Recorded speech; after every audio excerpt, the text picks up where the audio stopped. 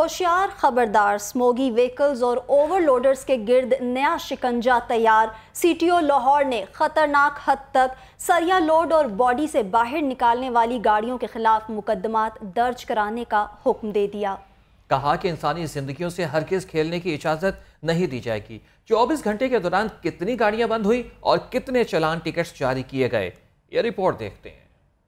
धुआँ छोड़ने वाली गाड़ियों की शामत आ गई। ट्रैफ़िक पुलिस का शहर भर में क्रैकडाउन जारी है। 24 घंटे में धुआँ छोड़ने वाली 1300 गाड़ियाँ बंद कर दी गई हैं। 713 गाड़ियों को चलान टिकट्स जारी किए गए। सीटीओ लाहौर मुस्तनसर फैरोज ने कहा कि शहर के दाखिली और खारजी तमाम रास्तों पर खसूसी चेकिंग टीमें तैनात हैं। बगैर तरपाल, डंपर, ट्रालियों और लोडर गाड़ियों को भी बंद किया जा रहा है। शाहराहों पर धूल, मट्टी, रेत और गंदगी फैलाने वाली गाड़ियों को भी चालान किए जा रहे हैं।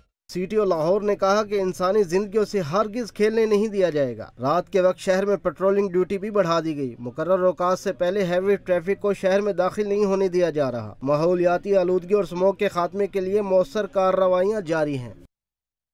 स्मोक इमरजेंसी के दौरान लाहौर में मास ट्रांजिट अथॉरिटी की सर्विसेज़ बंद नहीं की जाएँगी। Metro bus orange line train और स्पीडो बसें चलती रहेंगी। मास ट्रांजिट अथॉरिटी जराये का कहना है कि सर्विस चारों दिन बहाल रहेगी।